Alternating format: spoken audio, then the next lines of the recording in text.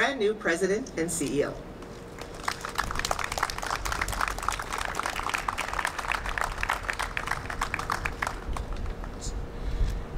Merci, Jamie.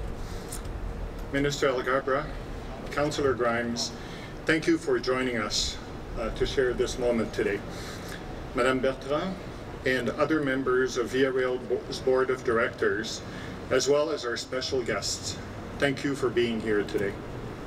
As Jamie said, I've only just begun with Rail, and it's a great honor to be entrusted with the job of leading an organization that is so crucial to Canada on so many levels, and as such, at such a pivotal time. Rail not only moves people, but we link communities. We play a key role in the battle against the climate crisis. Je suis très fier de diriger une organisation qui joue un rôle crucial pour le Canada et à bien des égards, et ce, à un moment charnière. Via Rail ne se contente pas de déplacer les gens. Nous co connectons aussi les collectivités. Nous jouons un rôle clé dans la lutte contre la crise climatique. And we aspire to be a leader in accessibility and equity, diversity, and inclusion. Because I'm new to VIA, I've been spending a lot of time getting to know the outstanding team from coast to coast, including the people who literally keep our trains on track. That's just a point. They actually keep the trains on track, but keep them running. That's why it's so great to welcome you to Via Rail's Toronto Maintenance Centre. It allows me to give a shout out to all the impressive team of people who run, service, and maintain our trains and provide the exceptional service for which Via Rail is known. Je peux en profiter pour souligner le travail de l'impressionnante équipe de personnes qui assurent les opérations, l'entretien et la maintenance de nos trains et qui fournissent un service exceptionnel qui fait la renommée de Via Rail. Passengers rarely get to see our maintenance staff, but you should know that they are absolutely crucial to everything we do. They take pride in their work, and we are proud of them. I know they've all been working hard to prepare for our new era and are keen to get going. In fact, there's been a huge amount of work done throughout the organization to bring us to this point. I would like to pay tribute to the Chief Business Transformation Office, Officer Bruno Cacciola, and all the members of the VIA team for their leadership and commitment to our modernization. We're in the middle of a far-reaching modernization program. These are exciting times for Via Rail and for everyone who loves traveling by train. Nous sommes au cœur d'un vaste programme de modernisation. Pour Via Rail et pour tous ceux qui aiment voyager en train, c'est un moment marquant. And our maintenance center in Toronto and Montreal are playing a central role. Here's why. We're in the process of rolling out our 32 beautiful train sets for the Quebec City Windsor corridor. You can see the new train set behind me. The first of them started carrying passengers last fall and are in the process of going into full commercial service. They are transforming the experience of, for our passengers. They are more comfortable with ergonomic seats, wider aisles, and improved luggage storage. We're proud to say that they're amongst the most accessible trains in the world. Nous sommes fiers de dire qu'ils sont parmi les trains les plus accessibles au monde. They're also more energy efficient with lower emissions. The arrival of modern, new equipment poses a happy challenge for us. It means we need a substantial upgrade to our two primary maintenance centers in Toronto and Montreal. It's a big job. moderne représente pour nous un heureux défi. Cela implique la mise à niveau substantielle de nos, nos, deux principaux centres de maintenance à Toronto et à Montréal. Il s'agit d'un projet majeur.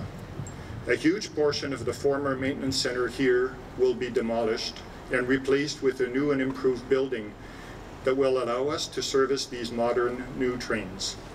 With new equipment, our maintenance, which is already exceptional, will be planned, proactive, and preventative. Our innovative Vehicle Equipment Measurement System, the VEMS for short, has an early warning detection system. It ensures that any issues are dealt with swiftly, safely, and without prolonged downtime. And that is what's going to allow us to be more proactive on maintenance. The maintenance yard is truly being transformed with several critical infrastructure improvements to support the VIA of the future. It's a complicated project, and the work will be ongoing as we continue to service our existing trains as well as the new ones. When we put the project out for tender, we had a high demand and held a rigorous and open competition for the job. The winning bid for the Toronto project came from a GTA firm, Buttcon Limited, based not too far from here in Concord. That means that the jobs and economic benefit of this important project will stay right here in the city where the project is being delivered. We expect the creation of about 475 jobs, local jobs, between now and the completion of the project. Nous prévoyons ainsi de créer jusqu'à 475 emplois locaux d'ici à l'achèvement du projet. We're happy that the Chief Executive Officer of Buttcon Holdings Limited, Mark Butt, and President and CEO of Buttcon Limited, Peter Di Gaetano, are with us today for the official groundbreaking. Thank you for coming today. Congratulations. We're looking forward to working with you, and I know that your team will do great work. The upgrade of our maintenance centers is a crucial element in our modernization plan and we believe our new trains will encourage many more Canadians to rediscover VIA and get out of their cars. La mise à nouveau de nos centres de maintenance est un élément crucial de nos plans de modernisation et nous croyons que nos nouveaux trains inciteront de nombreux, Canadiens à redécouvrir VIA et délaisser leur voiture. Once you ride our new trains, I'm sure you'll agree that traveling by rail is the smarter way to move. Minister Alghabra, we're very grateful that you and the Government of Canada share our vision. Grateful that you recognize the value and long-term benefit of passenger rail. By supporting these projects, you're making a wise investment in the future of transportation in Canada. Monsieur le ministre Alghabra, nous sommes très reconnaissants que vous et le gouvernement canadien partagiez notre vision. Merci de reconnaître la valeur et les avantages à long terme du transport ferroviaire de passagers. En soutenant ces projets, vous faites un investissement judicieux dans l'avenir des transports au Canada. And you're sending a signal that passenger rail is not only the best way to travel, but it will play a crucial role in coping with the climate emergency. On behalf of Via Rail, thank you very much. We're entering a new golden age of passenger rail travel in Canada, and we can't wait to welcome Canadians aboard. Thank you, merci. And now, I'd like to call upon Canada's Minister of Transport, the Honor Honorable Omar Alghabra, to say a few words. Minister. Uh, Mario, thank you very much. Um, I had a chance to uh, welcome you first in private uh, uh, to your new role. Let me take this opportunity and publicly welcome you and say how uh, glad we are to have found uh, uh, a candidate like yourselves to lead the organization at a very pivotal moment in its history. So thank you very much and welcome. Uh, I'm also pleased to be here with the chair of the board, Francois. Good to see you. And I know there are other members of the board here.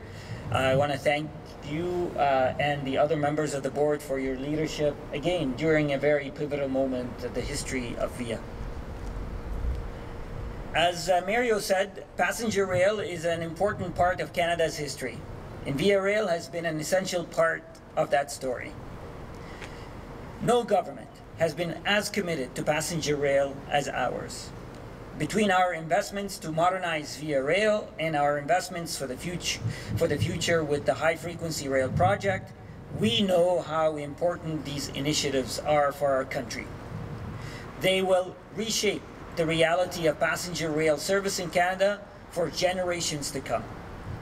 And modernizing Via Rail includes significant investment to replace their fleet in the Quebec City Windsor corridor. For example, our government invested $1.5 billion in budget 2018 to replace the train fleet in this busy corridor. And today's event was made possible thanks to this funding. We also added $212 million in budget 2022 to ensure that VIA's maintenance centers in this corridor would have the capacity, tools, and infrastructure to support the existing and new fleets long into the future. So I'm proud that we are seeing the results of these investments today. Today, we break ground on the construction at Via Rail's Toronto Maintenance Center. This facility upgrade will ensure the new fleet is serviced and maintained to the highest level possible. The construction will also create good middle class jobs for Canadians here in Toronto for the next three years. This is a great example of our government's long term commitment to supporting passenger rail. And with this center, Via Rail is also demonstrating its commitment to the future as it continues to offer Canadians an important service. And I want to take this opportunity to thank all the employees at Via Rail for their incredible work over the last few years during a very difficult period that uh, started with COVID and the uh, lingering impact of COVID. There have been a lot of challenges, but I know and I hear about it every day. The dedication of VIA employees shines through every day, and it's an honor for me to be able to provide support and encouragement to continue their work. Thank you very much for being here, and have a great day.